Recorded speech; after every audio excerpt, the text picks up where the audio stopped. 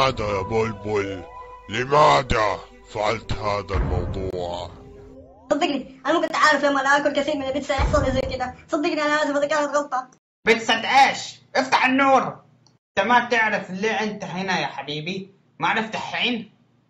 أنت هنا لأنك اسعت اسمي. تقول لي علي. علامة الغلام. خلاص خلاص.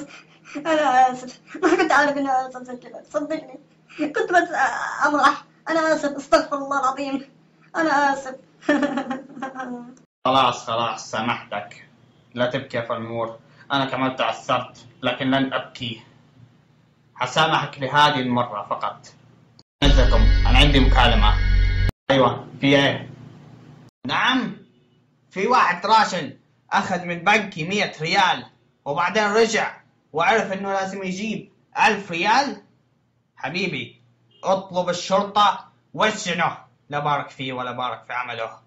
استغفر الله العظيم لا حول ولا قوة إلا بالله. يا أخي ما تعرف هذه الربا ولا لا؟ حبيبي هذا يسمى ربح مش ربا. وهذا اللي أسميه حلال البنوك. شك راح. مو حلال بنوك ولا يحسنون أيها الطماع. فالمور ستدفع الثمن أيها الولد.